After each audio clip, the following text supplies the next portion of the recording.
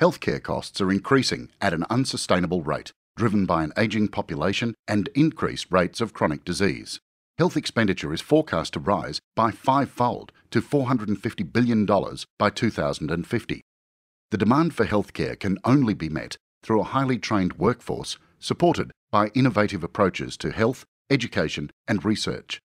The South Australian Health and Biomedical Precinct will meet these challenges by developing critical infrastructure on a greenfield site to create world class health, education, and research facilities. The $2.1 billion new Royal Adelaide Hospital represents a lasting investment that will fundamentally change the way healthcare services are delivered for the coming decades. The adjacent SAHMRI facility, currently under construction, will be fully occupied upon opening, providing world leading research capability in cancer, heart disease, nutrition and metabolism, mind and brain, infection and immunity, healthy mothers, babies, and children. The opportunity exists to capitalise on these existing investments to create the largest health and biomedical precinct in the Southern Hemisphere and significantly enhance the ability to attract investment, students, clinicians, and biomedical researchers from outside Australia. When complete in late 2016, the precinct will accommodate over 800,000 patient visits annually, 6,000 students, and will provide employment for 10,000 people. The development of the new RAH and SAHMRI site provide an opportunity to link teaching, training, research, translational research, and clinical practice through a platform of innovation, superior patient experience, commercialisation, and investment. SAHMRI is a collaboration of precinct partners, as well as Flinders University and other research nodes. The precinct builds upon the synergies and long standing collaborative partnerships that have been strengthened with the first SAHMRI building. The second SAHMRI building will accommodate the significant demand for research and teaching space unable to be met within the first facility. SAHMRI 2 will provide flexible, high performance research space, including for the CSIRO's flagship Nutrition and Preventative Health Research Group. SAHMRI 2 will also accommodate a proton radiation machine for cancer treatment, which will benefit hundreds of Australian cancer sufferers annually who currently need to travel overseas for treatment.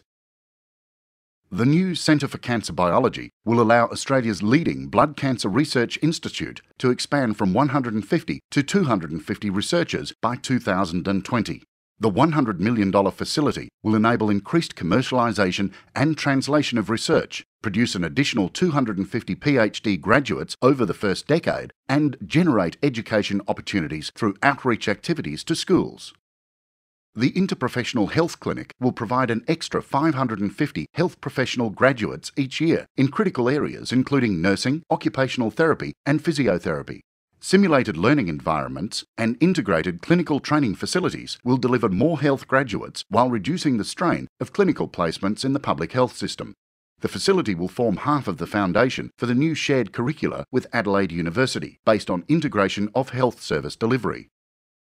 The Integrated Health Clinic represents the second half of the partnership with the University of South Australia, which will see over 2,800 students and academics sharing facilities and integrated curricula through the University of Adelaide and University of South Australia integrated clinical schools. Interprofessional clinical training is an innovative approach to curriculum design, focusing on small group learning, flexible delivery, and the interweaving of research with teaching. The Integrated Health Clinic will also house the new Adelaide Dental Hospital, which will treat 76,500 patient visits annually, an increase of 6,500 patient visits annually on current capacity. The master plan for the broader site, stretching to the River Torrens, has been designed in stages to enable construction of future stages based on demand and funding availability. The stage currently under funding consideration will unlock the value of surrounding land to promote private investment and further development opportunities.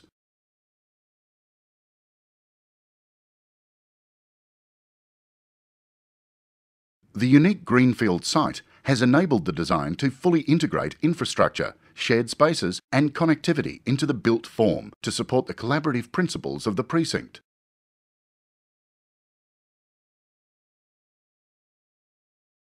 No other site in Australia provides this level of opportunity to integrate collaborative approaches to research, education, and clinical infrastructure.